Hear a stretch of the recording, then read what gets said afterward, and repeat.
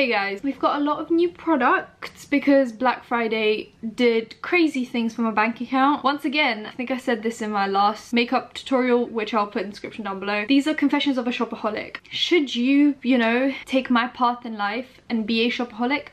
No, I don't recommend it, but you don't pick your struggles. You know, everyone, everyone's got their thing and this is just my thing. Hello, that's very up close and personal. I'm gonna try out a few new things. Everything I bought, to my knowledge, is cruelty free. But sometimes those blog posts are so confusing because sometimes companies go back and forth whether they're like fully cruelty free or not cruelty free.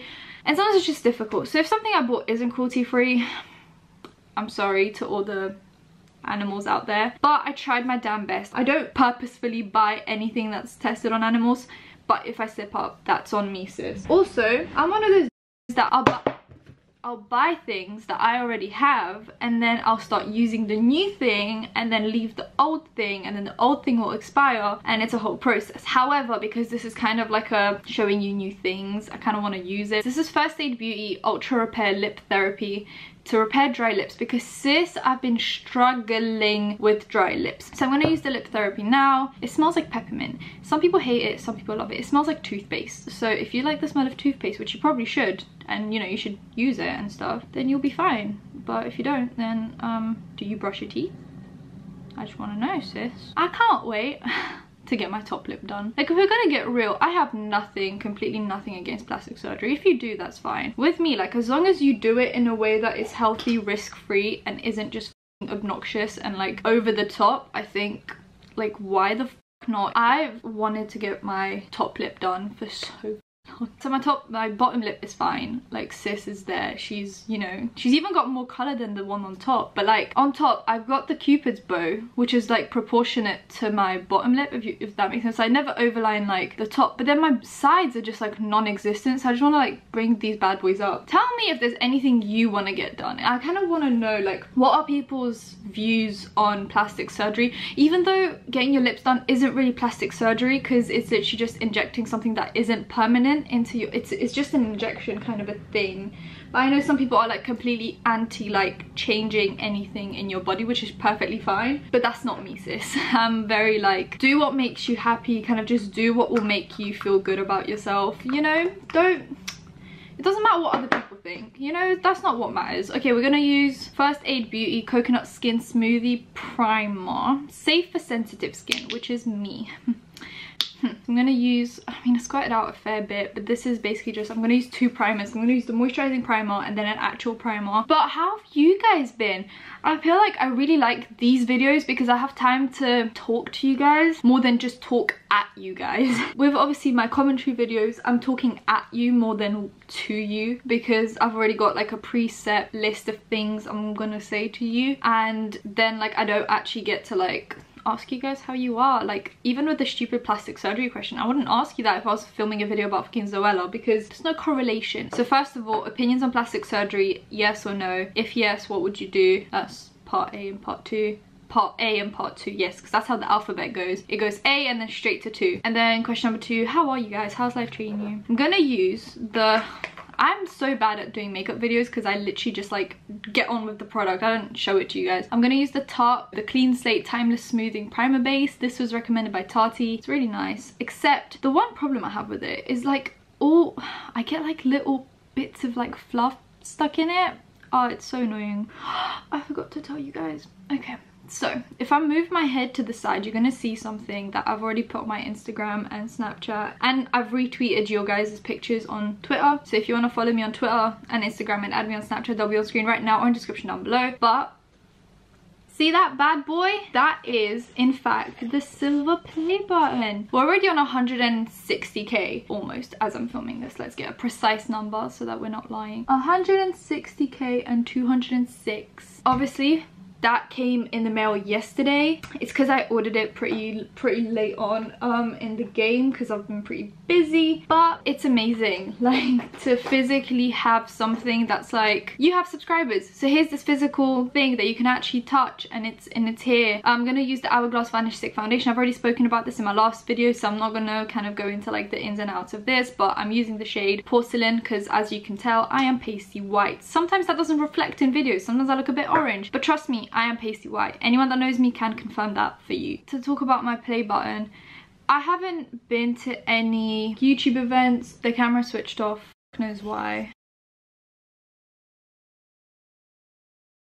I obviously have 160k now. You don't get another reward until a million, so I'm not gonna get one. Maybe ever, but maybe just not soon if I do ever get one, which would be crazy. I've asked you guys a lot of questions on Instagram just to kind of see what you guys want to know and then I can kind of build on that. I'm not answering like specific questions, but I kind of got the vibe of what you guys want to know through asking you guys questions. So once again, if you want to take part in those things, Instagram is kind of the way to go with me. Um, but Twitter is my main like I post the most on Twitter but if I'm doing like something to do with a video it will usually be on Instagram. Do you guys see how full coverage this foundation is? And also it's got a pretty good shade range so um hoping you guys could find something in there that's like for you but this foundation is hella expensive for what you get you get a quarter of an ounce. Most foundations are one fluid ounce. So I'm not sure why this one is like trying to be bougie do you know what I mean? I mean maybe because it is bougie as but like let me know sis. Hourglass, what happened? That looks scary as Last time I did this, I ran out of concealer, but I was waiting for this to come in. So this is the Tarte Shape Tape. This is like my first bottle of Shape Tape, and I know it's not going to be the last, sis. This is so good, and it goes such a long way. Using the shade Fair, but this is humongous. Like, look at it compared to my finger. Literally my finger. You can fully spread this out on two eyes. Like, look at that. Like, that like that's it that's two eyes done. From just one dip. And i sometimes look at beauty gurus dipping back and forth and i'm like sis what you had that first time was more than enough. Like i haven't dipped back yet and i've done my whole face. So when i see these beauty gurus dipping back in i'm like how is that going to blend? Where is that going to blend?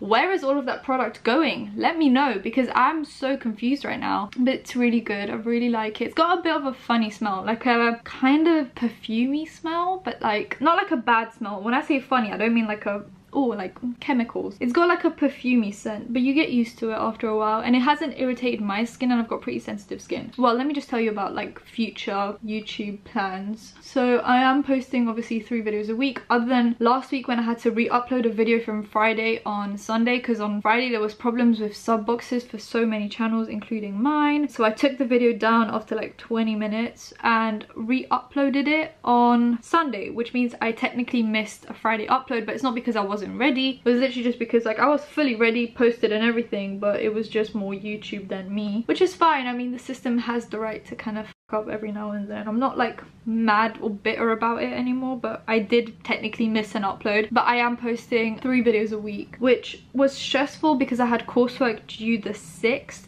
which I did last minute obviously because I still had a video to edit and stuff so I was like editing a video the day before my coursework was due while I only had half of my coursework done. Well now I have a Christmas break from tomorrow and then I only have, I just bought this. This is also another like YouTube beauty guru staple that I've only just started using now. Like I only just bought this Laura Mercier translucent setting powder. But yeah, continuing, I have a break from tomorrow and then the next coursework is due January the 22nd. So all of December now, I'm definitely going to be on top of my bonus upload and my two regular uploads because I have no other commitments. Other than I'm going on holiday kind of, like a little trip with my friends, going Amsterdam for five days. So I'm gonna definitely vlog the journey, but I'm not sure how much I'm gonna vlog there because obviously the friends, I'm going with, okay, so I got invited by my friend and then his friends are going. So it's like I'm going with a friend and then friends of a friend. But my friend understands the whole YouTube thing and they do too, don't get me wrong, they're not like pricks about it. But I mean like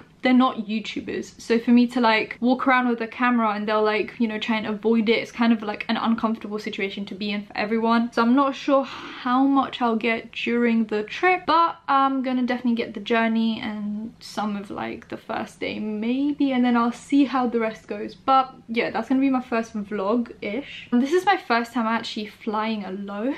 Usually my parents are in charge of everything. So like I don't have to worry about like, do I have my passport? Am I gonna get let through? Do I have everything? Have I checked in? Like anything like that. I don't have to worry about it. I just walk through the airport with my coffee and my little suitcase and I'm good to go. But this time it's just me and my suitcase and maybe a coffee. But then like, have I checked in? Have I got my passport? And I'm leaving at such a time in the day when my parents are at work because my flight's at 2.20 in the afternoon, which means I leave my house at around like 12 because I live pretty close to the airport. So I'm gonna be leaving on my own. So there's not gonna be, you know, my mom to be like, have you got this? And then my dad to be like, do you want me to drop you off? I'm gonna have to do everything on my own, which is probably how I should be doing it considering I'm literally almost 19 years old. I wanna vlog it because I feel like the whole experience is gonna be scary as but I feel like if I'm vlogging it, I'm kind of like talking to you guys and I'll feel like I'm there with someone instead of it just being me. This is another purchase that I was like, I would not have bought this, but someone recommended it and I was like, okay, I'm fine. Kathleen Lights. She recommended, and it came in a little velvet pouch. That's when you know. Um, when it comes in a velvet pouch, you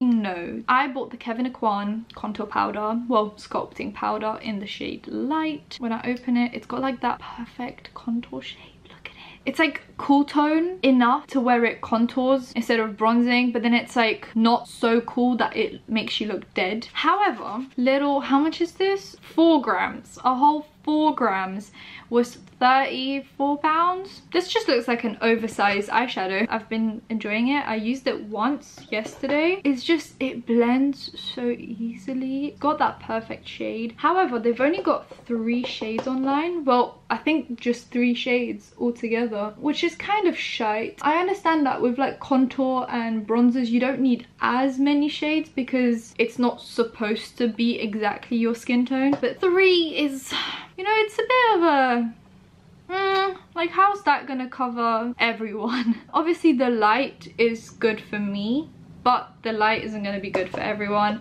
There's a medium and there's a dark, obviously, which are like the basics. But if I was recommend something, I'd recommend to start with five shades, not three. I feel like a lot of companies start with three shades and they think that's like enough. I'd go with six. So just double the, just put things in between. So light, light, medium, medium, medium dark, dark, very dark. I don't know if that's six because I couldn't be asked to count, but that's how I would do it for starters and then maybe just add as I go along. I still have my set of blushes and bronzer from Benefit. So there's the Hoola bronzer, the Coralista blush, the Dandelion Rockateur Sugar Bomb. My favorite thing to do, so obviously you can see the Hoola bronzer has been well loved. I like to fill my bronzer on top of the Cool Tone contour is to mix Coralista with Hoola and I just warm up the face. It just creates a nice base for blush to go on top. See, because it's already blushy. So then you just add blush and everything just kind of blends together. I'm gonna go in with the same blush I went in last time because it's a really good blush and it's cruelty free and it's a dupe for for a more expensive really popular blush so milani baked blushes are really good but this one in the shade 05 luminoso is a perfect match for NARS Orgasm, which is one, more expensive, two, not cruelty free. They used to be cruelty free and then they started started selling in China. So this is the way to go. Save the animals and save money. Crazy. I know some people have asked me if like I'm gonna end up doing YouTube full time or if I'm gonna go and do my degree job. And frankly, I don't know. Well, obviously when I was starting YouTube, it was just a kind of a hobby, you know, because some holidays were starting I don't want to be bored at home. And I'm one of those people that just doesn't leave their house. Everything on this side looks so much darker than on this side because of the lighting. At this point, I'm not actually sure what I'm gonna end up doing full time because I've only just started doing YouTube and I've just only started doing uni. But the thing about YouTube is things kind of happen very quickly. Well, for me, they kind of happened very quickly. And then from there it's just difficult to say how how sustainable that is. I literally can't make that decision until i finish uni and then i'll see where my youtube is and at what what point my youtube career is kind of standing and then i can kind of go from there. What's reflecting on my face right now is my becca highlight. I used this in my last video. It's my favorite highlight. It's the vanilla quartz. I just kind of want to show it off because it's so but yeah people have asked me like what i want to do and if i want to be a lawyer if i'm going to do both i definitely won't do both if my channel is dead by the time i finish uni I'll obviously just do law. If my channel is thriving, I'll probably end up just continuing YouTube for as long as possible. But I definitely won't be able to do both because law is very intense. And mainly with kind of like how I want to do, I want to do civil law or like corporate law. So you don't have time to do YouTube on the side. I didn't even have time to do a part-time job and YouTube on the side. I quit my job ages ago. I quit my job, my part-time like student job that I had like a month into doing YouTube or maybe two-ish because it's difficult to keep that going and I was blessed enough to where I could quit my job because YouTube kind of happened so quickly but I don't think I'd be able to do law and YouTube at the same time because I think that's impossible. I'm like missing lips altogether now, which is fun. It's a fun look. I'm gonna, for the first time, I haven't used this yet, so this is a first impression. This is also a staple sis. The urban decay all nighter how have i not used this? I don't know because i've been using the mac studio fix. Oh that missed though. I might just do falsies so i'm gonna come back once i've done my eyebrows and then we're gonna put on some falsies together. For my eyebrows because i'm doing everything off camera. I'm gonna use the anastasia beverly hills brow wiz in medium brown and the nyx brow gel called control freak. It's just a cream clear not cream clear brow gel. And then for mascara i always use soap and glory thick and fast in the gold tube. Okay so my eyebrows are on. I'm gonna put on some falsies. I'm not gonna do any eyeshadow. Nowadays when i put falsies on i don't like to put on eyeshadow. When i put on eyeshadow i don't like to put falsies. I don't know. My eyebrows came out semi-even today debatable. There's a girl on instagram who followed me pretty early on in my youtube days. She watches my videos. I like her makeup tutorials and she came out with some false lashes but they're all sold out on the website. There's three styles but i'll put her links for her private and her business instagram on the screen right now so you'll know when they restock but i have the little clippings. You know how you're supposed to shorten your lashes? I've got all the clippings in there. So these are biscuit lashes. These are in the style rich tea and they're the most like natural looking ones. So if they come back in stock get rich tea. They're really nice. I'll show you guys them without the cover. This is what they look like. They're longer on the side sides, smaller on the inside, which is kind of how I like my lashes. I don't like when they're even throughout. There's glue. I use Duo because the most accessible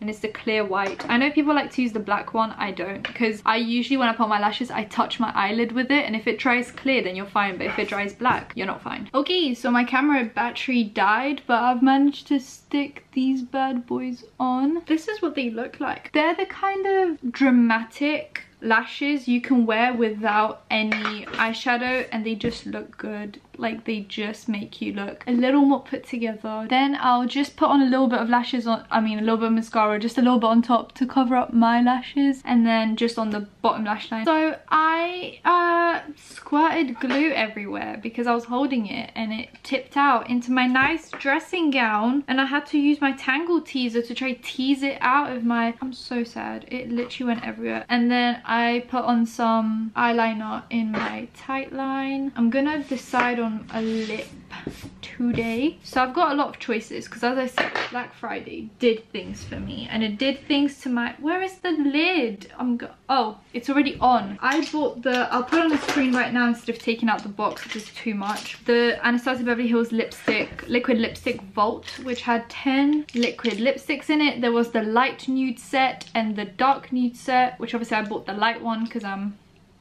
every time I try these, I want to try a different shade because that's the point. Also, I bought the little Kylie lipstick Christmas collection. So these are really cute as well. These ones, I still have the choice. So I have like the reddish nude on the side then I have the really pale ones and then two pink ones in the middle I never really wear pinky shades because I feel like sometimes they can look a bit mm, weird. But I thought I'd step out of my comfort zone today. Either the light one, which is called Crush, or the darker one, which is called Dusty Rose. Let's try Dusty Rose. I think I've already tried Crush as well. I'm pretty sure I tried it on and then took it off because I wasn't going anywhere. I was just trying it on. So I'm gonna go with Dusty Rose today. Okay, so this is kind of cleaned up now. I think this looks so pretty. I'm shook. I am shooketh to the core. Oh my god. I love that. So this is kind of the look. I think we're done. I feel like we spoke, we chatted, we have done whatever we needed to do. If you enjoyed the video, give it a thumbs up, comment down below, anything comment down below, and subscribe because I post videos every Wednesday and Sunday, and in December I'm posting bonus videos on Fridays. So turn on post notifications and follow me on all my socials, they'll be on screen right now on description down below, and I'll see you in my next one. Bye guys!